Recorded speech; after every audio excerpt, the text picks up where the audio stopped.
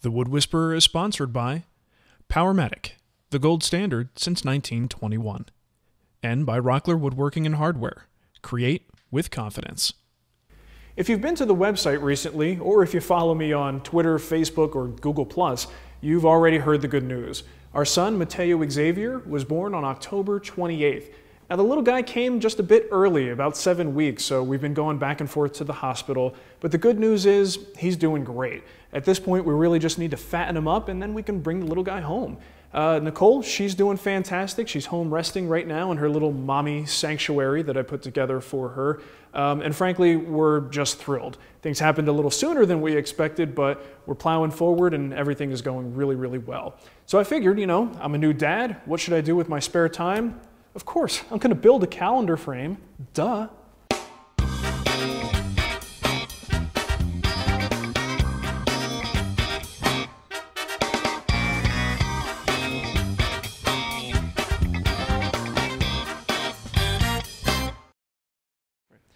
Now this project was specifically requested by Nicole. Here's her old calendar frame. This one has been with us for quite a while. In fact, it's got about four layers of paint on it. I think it's been brown, green, and of course now it's white. Uh, this one in particular, it's okay, but the problem is you have to take it off the wall every month when you want to change the calendar. Uh, you basically slide this thing out through the top like so, change the month, and drop it back in. But again, that means every month you're taking it off the wall to make the change. So I think we can really improve on that design by having something that loads in the front. Instead of having to take it off, you just slide it up, in, and down. So that's really our primary goal. The frame itself is going to be fairly basic. I don't think it needs to be super ornate, but you certainly could add a lot of decorative elements to it if you choose to. So it's going to be a very adaptable design. Now, calendars are not exactly created equal. There's a couple different types, and we're going to build ours specifically for a certain size calendar. So just keep that in mind with the dimensions. You may want to change things a little bit. In fact, I have two calendars here to show you an example of what the different sizes might be. Now, aside from being the coolest calendar ever, this one is what I would call your everyday calendar. You've got a 12 inch width here, and it's also 12 inches high. So of course, when you open this completely, you're looking at 12 by 24. So you want to make sure that when you build your frame, you account for this size calendar if this is the type you want to use. Now this is a little bit more of a, I guess you could call it a premium calendar. It's certainly more expensive, but the width is just a little bit wider at 13 and a half inches wide. The height is still 12 inches, so when it's unfolded, it's going to be 24. So 13 and a half by 24, and that's the dimensions that we're going to use to build our frame today. One of the great things about this project is the fact that it doesn't require much in the way of material. I guarantee if you go to your scrap bin, you probably have enough stock there to make at least one of these. Now, I highly recommend that you don't make just one, try to make about four or five. This is one of those projects that really lends itself well to the batching process, where if you're making one, you may as well make multiples because it won't take much longer. Once those machines are set up, you just pass four or five pieces through, and when it's all said and done, you've got a number of these to give out. And I guarantee you, as soon as you give one of these as a gift, you're going to get the request. So you may as well have some here waiting when those requests come. Now the boards that I have here are pretty special. This is some stock that I got from our buddy Chad Muterspaw at Muterspaw Lumber. This is a curly maple board. It's nice and wide, and the stock for this project is fairly narrow, so I'm still going to have a decent amount of width left in this board that I could use for something else in the future. But for this project, this curl that's in here is going to be absolutely stunning, so I'm really excited to see how that comes out. The second one I'm going to make is using this material. This is actually quarter sawn white oak. But it's not your average quarter sawn white oak. I mean, it's got the ray flecks in it, which we expect to see, but it also has curl. This is something that I haven't really seen much before, and I certainly haven't ever worked with it before, so I am really excited to see how this turns out really some special boards here. And this is one of those projects where the project itself is not super complicated necessarily, it's not real complex, but it is special. And the reason is because I'm giving one to my mom and I'm giving one to my wife, the two most special women in my life. So, of course, they deserve some of the best stock that I have in my shop right now. So, enough with the mushiness. Uh, let's get into milling some lumber and we'll start building our calendar frame. To make our frame, we'll need two pieces cut to 26 and 3 quarters of an inch long by 1 inch wide by 3 quarters of an inch thick for the sides. One piece cut to 15 inches long, 2.5 inches wide, and 3 quarters of an inch thick for the top. And one piece cut to 15 inches long one and a quarter inches wide and three quarters of an inch thick for the bottom. I need to cut my wide maple board down a bit, so I start by milling one edge at the jointer.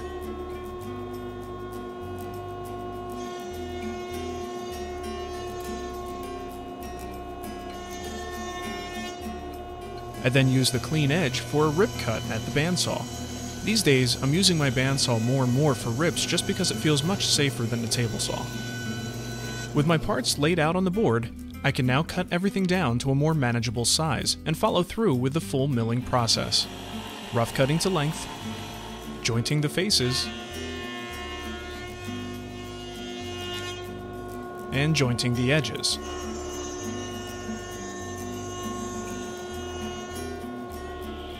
At the table saw, I rip the parts out of my wider board, leaving them a little bit oversized. On skinnier workpieces like this, ripping can sometimes cause a little bit of warping. So I make a quick trip back to the jointer to correct any issues, and then it's back to the table saw again to rip each piece to final width.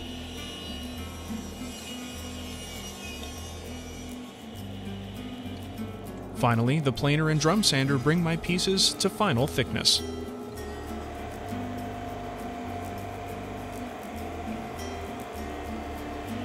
The only thing left to do now is use the crosscut sled to cut the pieces to final length. Cut the side pieces together to ensure they're exactly the same length, and use a stop block for the top and bottom pieces to make sure that they're also the same length.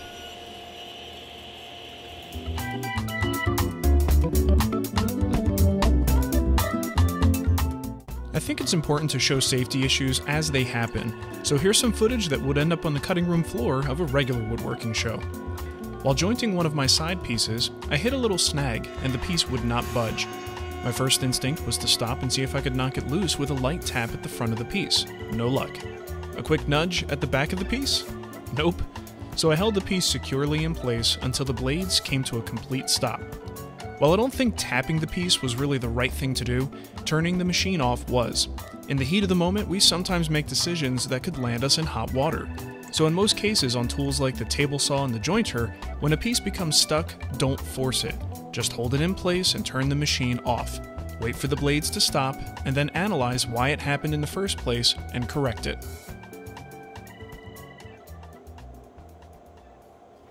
The primary joinery for this project is going to be the half lap. Now half laps are deceivingly strong. They seem so simple that you can't imagine them having a whole lot of strength. But when these two pieces come together, what you have is a lot of glue surface. That glue surface, long grain to long grain contact, means that that joint is incredibly strong. And in fact, when this frame is glued up, uh, the only way you're getting those pieces apart is if you break the frame. The wood is going to give up before that joint does. So it's certainly strong enough for a calendar frame. Now, there are a few different ways that you can make half laps, including the bandsaw, the table saw, and certainly hand tools will do the trick.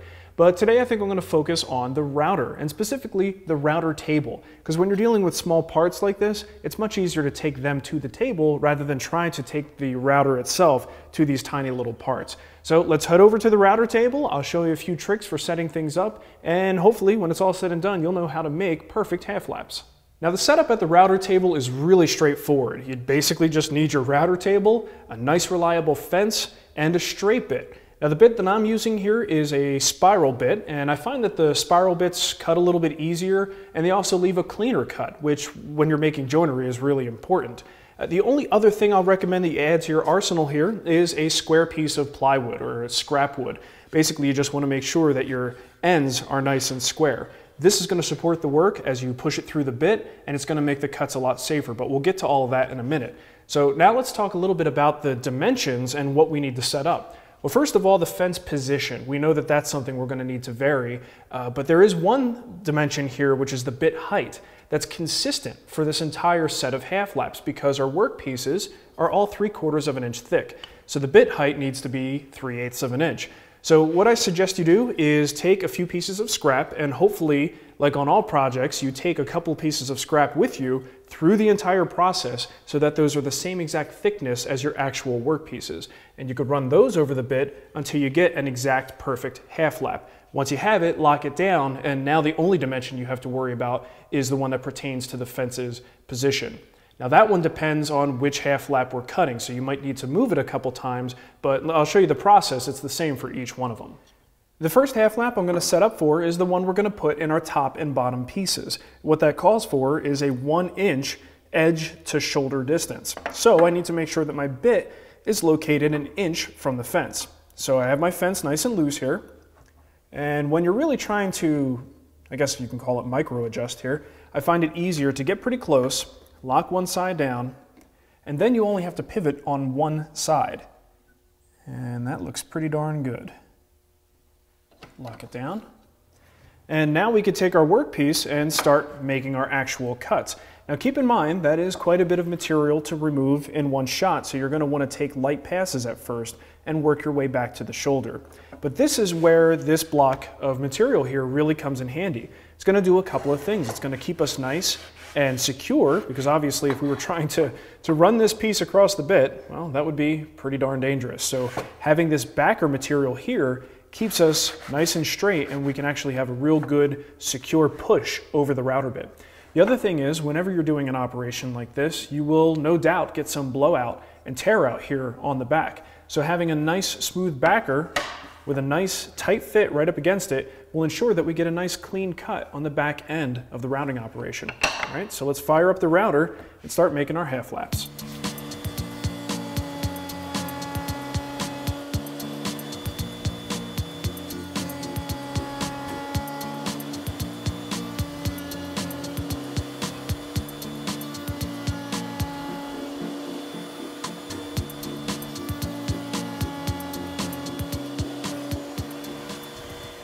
That looks pretty darn good. And this is one of the reasons why I like to use a router for this, is because you get a nice clean face. It's gonna be great as a glue surface. Now, if you want to double check yourself, you can always go to one of your side pieces, which is what this will eventually join up to, and you could push it right up against the shoulder and feel with your finger how close you came. If that's perfectly flush, you know you're dead on. And if it's not, you could just move your fence a hair to adjust one way or the other. Okay? But even if it is slightly off, it's nothing that a little bit of sanding or a couple of strokes with a hand plane wouldn't take care of. That's looking pretty good. Now just a quick tip, if you have an underpowered router or maybe you're just working with a really dense hardwood, you may want to do something like this, where you've gone to the table saw and nibbled away some of the stock here so that the bulk of it is gone. This actually reduces the stress on the bit tremendously. So you can see I've got a lot of it removed already, I just need to make the finishing passes with the router bit. Uh, now, I mean, if you're doing this much work, you may as well just put the dado stack in and make these at the table saw. But there are certain operations where removing the stock like this will come in really handy if you really do need to use the router for a particular operation.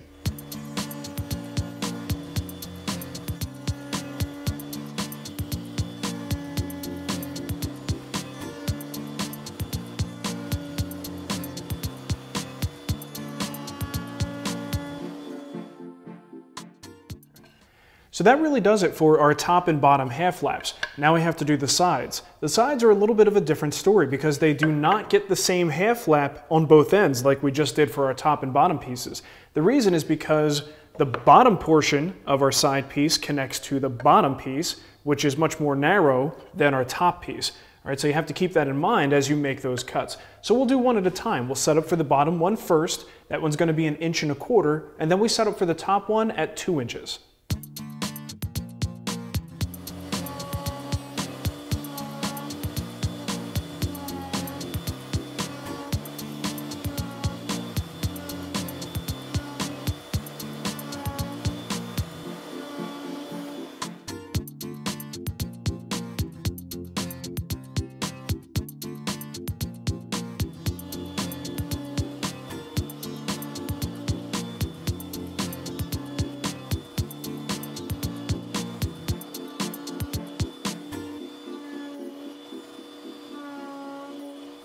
Once that rounding is done, it's probably not a bad idea to do a little dry assembly. Now, I like to call these dry assemblies uh, sanity checks because basically they help to show you errors that you might otherwise miss. Uh, if you don't check this type of stuff, put the half laps together. Everything looks nice and tight. Should be square. If our joints are square, you could certainly double check at this point if you wanted to. Uh, one thing I want to show you here is at the top. Now you might look at this and think, uh-oh, Marc made a mistake, which can and will happen, by the way. If you've watched the show long enough, you know what I'm talking about. This actually is going to be a flat here. We're going to remove some of this stock, and then we're going to have a nice gentle curve at the top. But that curve terminates right here at this point and flattens out. So we'll be able to remove this stock later on when we give our top that curve uh, for a decorative effect. So um, this really is supposed to be two inches, even though our top workpiece right now is two and a half inches. Just want to make sure you understand why that looks the way it does. Now, pretty much like any other frame, whether it's a door frame or a picture frame, we need to create grooves or rabbets on the back ends of these pieces so that our calendar has a place to go, and then we need to put a backer board on top of that. And you want your backer board to fit nice and flush on the back. So in order to do that, we have to basically create two rabbets on each piece, one a little deeper than the other.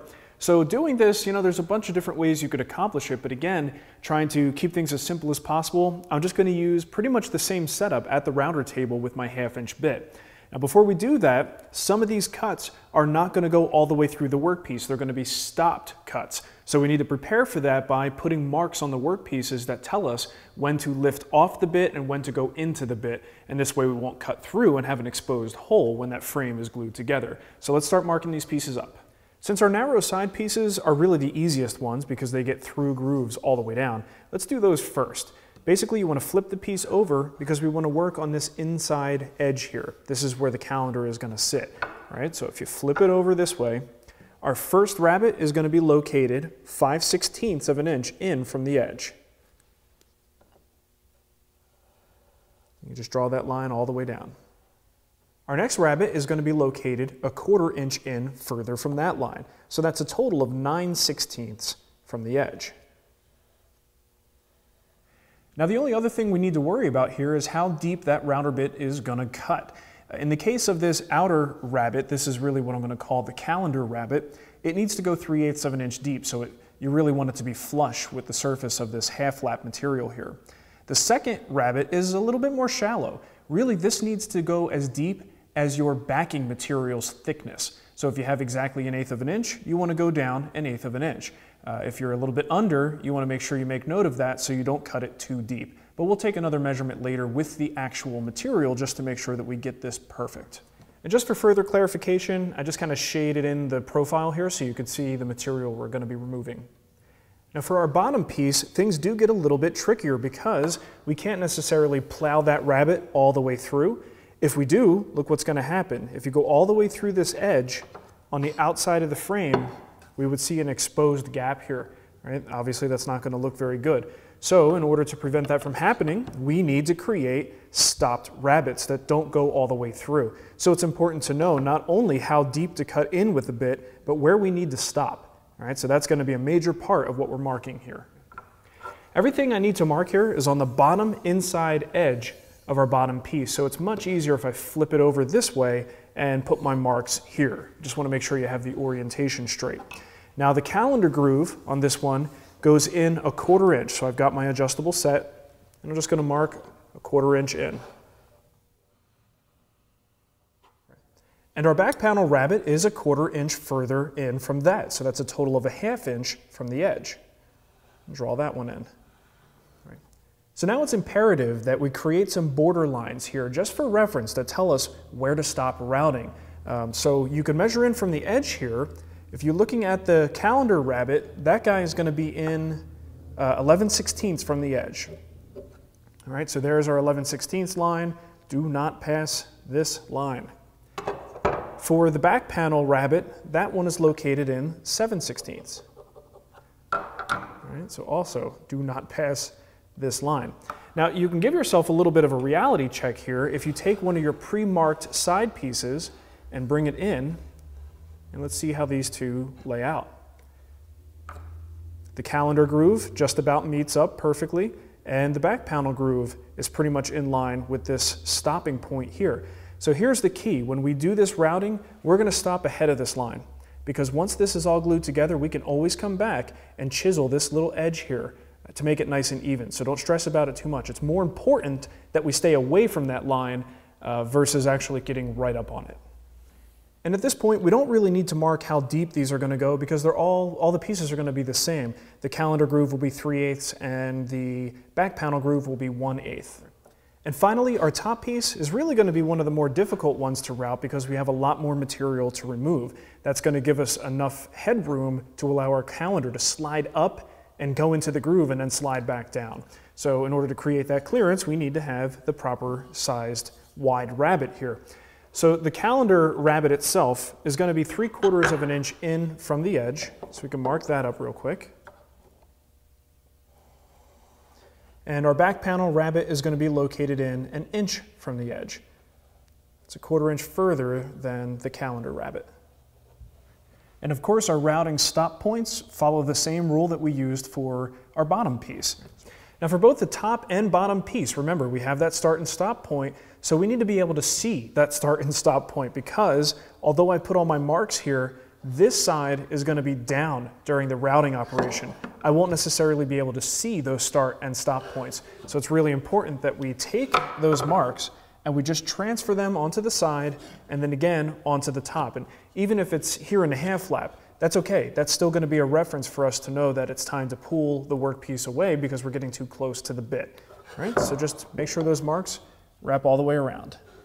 Now, if you're lucky, you haven't touched your setup from when you made your half laps, which means your bit is already set at 3 eighths of an inch. Well, that's perfect because the first set of rabbets we need to make are 3 eighths of an inch deep. We cut into the material 3 eighths of an inch. So just keep that where it is. And generally speaking, I try to minimize adjustments on my router table as much as possible. So while this guy is set at 3 eighths, I'm gonna do all of the cuts that I need that setting for. The only thing we'll be varying at that point is the fence distance. So whenever we change to a new piece, we're gonna have to change our fence location. But that's perfectly fine. That's not gonna really hurt anything.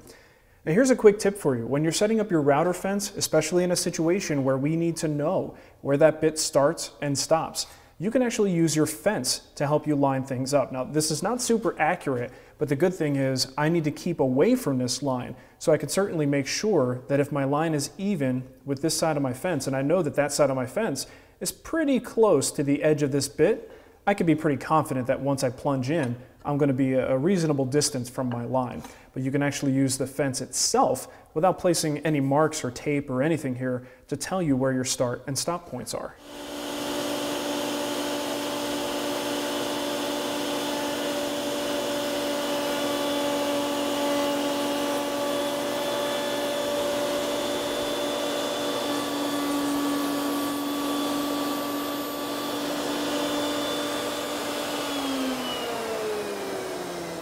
Now I want to take a second to explain exactly how this operation takes place because you could see it done a hundred times, but until you do it yourself and you really understand the mechanics of what's going on, it can be pretty scary.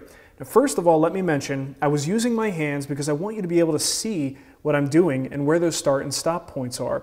But here's how I would really handle this if there was no camera around, which is a little counterintuitive since I'm supposed to show you the safest way possible, but there is a little bit of a method to my madness here. I like to use push blocks like this because they keep my hands out of the way. You have to keep it back far enough so you can still see your lines. But if I had these here, the camera would never be able to see it all.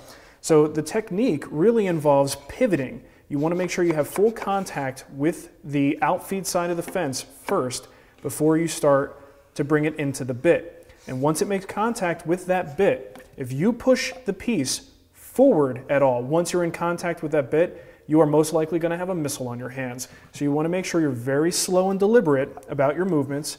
Start with the point here and then slowly see how I just moved forward like that? That would have been a problem with bit contact. So you want to make sure your line is where you want it to be, right about here, and then pivot into the bit, make contact, and then you start pushing forward this way. All right, till the very end, and then you pull it off again. So pretty straightforward, but these push blocks will really give you a good amount of control and that pivot is absolutely essential to making sure this is a nice and safe cut. Now the top piece is routed pretty much in the exact same way as the bottom piece using our pivoting start and stop operation. We're just going to move the fence back in increments of maybe a, um, eighth of an inch or maybe a little bit more. So it's going to take a few passes because this cut, this initial cut here for the calendar rabbet is three quarters of an inch back. So when it's all said and done, our bit from the front to the fence, that distance should be 3 quarters of an inch. We're just going to take our time getting there.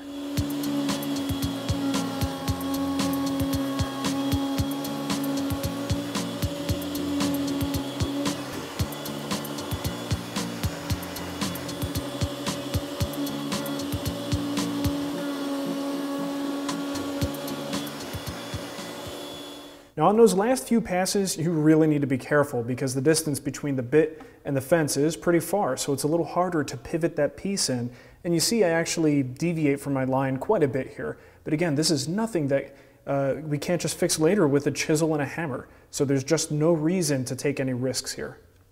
Fortunately, our side pieces are absolute cake because you can just go all the way through. There's no pulling the piece away from the fence. All I need to do is just take it in a couple of steps, working my way back, to 5 sixteenths.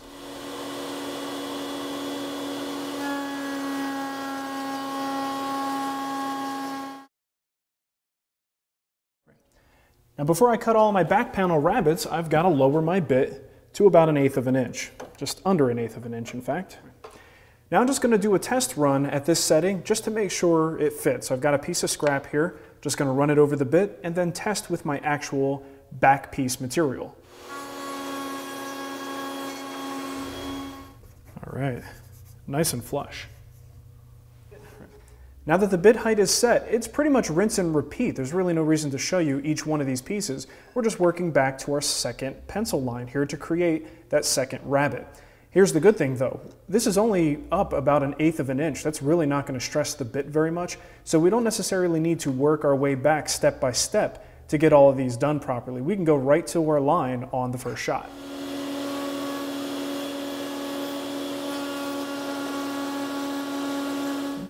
And this is pretty much what you're going for.